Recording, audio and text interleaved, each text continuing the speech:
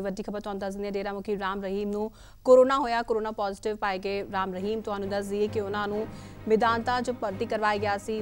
ਗੁਰੂਗ੍ਰਾਮ ਦੇ ਮੈਦਾਨਤਾ ਹਸਪਤਾਲ 'ਚ ਉਹਨਾਂ ਨੂੰ ਦਾਖਲ ਕਰਾਇਆ ਗਿਆ ਸੀ। ਕੋਰੋਨਾ ਕਰਕੇ ਰੋਹਤਕ ਦੀ ਸੁਨਾਰਿਆ ਜੇਲ੍ਹ ਤੋਂ ਉਹਨਾਂ ਨੂੰ ਗੁਰੂਗ੍ਰਾਮ ਲਿਆਇਆ ਗਿਆ ਸੀ। ਸਿਹਤ ਜਾਂਚ ਲਈ ਅੱਜ ਦੁਪਹਿਰ ਉਹਨਾਂ ਨੂੰ ਮੈਦਾਨਤਾ ਹਸਪਤਾਲ ਲਿਆ ਗਿਆ ਸੀ। ਔਰ ਹੁਣ ਡੇਰਾ ਮੁਖੀ ਰਾਮ ਰਹੀਮ ਕੋਰੋਨਾ ਪੋਜ਼ਿਟਿਵ ਪਾਏ ਗਏ ਨੇ। ਕੋਰੋਨਾ ਕਰਕੇ ਗੁਰੂਗ੍ਰਾਮ ਦੇ ਮੈਦਾਨਤਾ ਹਸਪਤਾਲ 'ਚ ਉਹਨਾਂ ਨੂੰ ਦਾਖਲ ਕਰਵਾਇਆ ਗਿਆ। ਰੋਹਤਕ ਦੀ ਸੁਨਾਰੀਆ ਜੇਲ੍ਹ ਤੋਂ ਉਹਨਾਂ ਨੂੰ ਗੁਰੂਗ੍ਰਾਮ ਲਿਆਂਦਾ ਗਿਆ ਸੀ। ਉਹਨਾਂ ਨੂੰ ਮੈਦਾਨਤਾ ਹਸਪਤਾਲ ਲਿਆ ਗਿਆ ਸੀ। ਸਿਹਤ ਜਾਂਚ ਦੇ ਲਈ।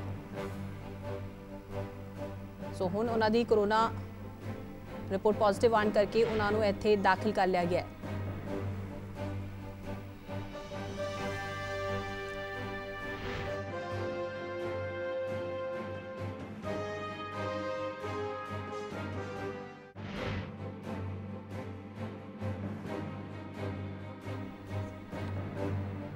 ਦੱਸ ਦਈਏ ਕਿ ਡੇਰਾ ਮੁਖੀ ਰਾਮ ਰਹੀਮ ਨੂੰ ਕੋਰੋਨਾ ਹੋਇਆ, ਉਹਨਾਂ ਨੂੰ ਮੈਦਾਨਤਾ ਹਸਪਤਾਲ 'ਚ ਭਰਤੀ ਕਰਵਾਇਆ ਗਿਆ ਹੈ। ਕੋਰੋਨਾ ਕਰਕੇ ਗੁਰੂਗ੍ਰਾਮ ਦੇ ਮੈਦਾਨਤਾ 'ਚ ਉਹਨਾਂ ਨੂੰ ਦਾਖਲ ਕਰਵਾਇਆ ਗਿਆ। ਰੋਹਤਕ ਦੀ ਸੁਨਾਰੀਆ ਜੇਲ੍ਹ ਤੋਂ ਉਹਨਾਂ ਨੂੰ ਗੁਰੂਗ੍ਰਾਮ ਲਿਆਂਦਾ ਗਿਆ ਸੀ।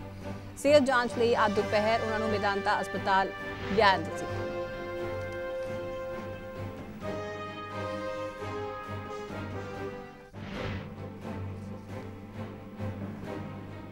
ਤੁਹਾਨੂੰ ਦੱਸ ਦਈਏ ਕਿ ਡੇਰਾ ਮੁਖੀ ਰਾਮ ਰਹੀਮ ਨੂੰ ਕੋਰੋਨਾ ਹੋਇਆ। ਉਹਨਾਂ ਦੀ ਰਿਪੋਰਟ ਪੋਜ਼ਿਟਿਵ ਆਨ ਕਰਕੇ ਉਹਨਾਂ ਨੂੰ ਗੁਰੂਗ੍ਰਾਮ ਦੇ ਮੈਦਾਨਤਾ ਹਸਪਤਾਲ 'ਚ ਦਾਖਲ ਕਰਵਾਇਆ ਗਿਆ ਹੈ। ਰੋਤਕ ਦੀ ਸੁਨਾਰੀਆ ਜੇਲ੍ਹ ਤੋਂ ਉਹਨਾਂ ਨੂੰ ਗੁਰੂਗ੍ਰਾਮ ਸਿਹਤ ਜਾਂਚ ਦੇ ਲਈ ਲਿਆਂਦਾ ਗਿਆ ਸੀ।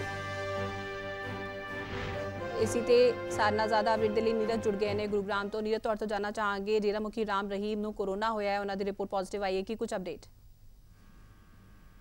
जी बिल्कुल देखिए ग्यारह बज के पचपन मिनट के ऊपर गुरमीत राम रहीम जो रोहतक के सुनारिया जेल के अंदर दुष्कर्म और हत्या के मामले में सजा भुगत रहे हैं। उन्हें कोरोना संक्रमण के चलते गुरुग्राम के मैदानता अस्पताल लाया गया है।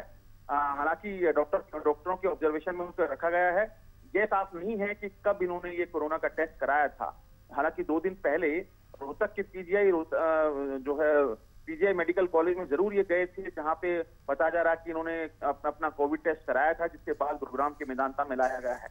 जहां पे डॉक्टरों के ऑब्जर्वेशन में उनका ट्रीटमेंट किया जा रहा है जी ਜੀ ਬਿਲਕੁਲ ਹੁਣ ਅੱਗੇ ਜਿਸ ਤਰੀਕੇ ਦੇ ਨਾਲ ਉਹਨਾਂ ਦਾ ਹੁਣ ਕੋਰੋਨਾ ਰਿਪੋਰਟ ਪੋਜ਼ਿਟਿਵ ਆਈ ਹੈ ਤੇ ਅੱਗੇ ਕਿਸ ਤਰੀਕੇ ਦੇ ਨਾਲ ਇਲਾਜ ਉਹਨਾਂ ਦਾ ਚੱਲੇਗਾ ਕਿ ਮੈਦਾਨਤਾ ਹਸਪਤਾਲ 'ਚ ਇਹਨਾਂ ਨੂੰ ਰੱਖਿਆ ਜਾਏਗਾ ਕਿੰਨੇ ਦਿਨ ਤੱਕ ਰੱਖਿਆ ਜਾਏਗਾ देखिए अभी साफ नहीं है कि कितना संक्रमण है उन, उनको और आ, क्या इला, उनके इलाज भी जरूरी है कि नहीं है क्योंकि तकरीबन ऐसे केसेस में देखा जाता है कि होम आइसोलेशन में इस तरह की सुविधा के तहत आ, मरीज का ट्रीटमेंट किया जाता है यह भी जरूरी आ, इस, इस मामले में देखना जरूरी होगा कि इनके साथ कौन कौन लोग जेल में जो रह रहे थे वो टच में आए क्या वो भी कोरोना संक्रमित हैं आ, बहरहाल इन पूरे चीजों के ऊपर जो है वो नजर बनाई रख- आ, ब- बनाई जा रही है जिसके बाद आ, ये साफ हो पाएगा कि कोरो- गुरमीत राम रहीम को कितने कोविड संक्रमण है जिसके चलते मैदानता में उन्हें भर्ती कराया गया ਤਮਾਮ ਅਪਡੇਟ ਦੇ ਲਈ ਨੀਰਜ ਬਹੁਤ ਬਹੁਤ ਧੰਨਵਾਦ ਸੋ ਗੁਰਮੀਤ ਰਾਮ ਰਹੀਮ ਨੂੰ ਕੋਰੋਨਾ ਹੋਇਆ ਮੈਦਾਨਤਾ ਹਸਪਤਾਲ 'ਚ ਉਹਨਾਂ ਨੂੰ ਭਰਤੀ ਕਰਵਾਇਆ ਗਿਆ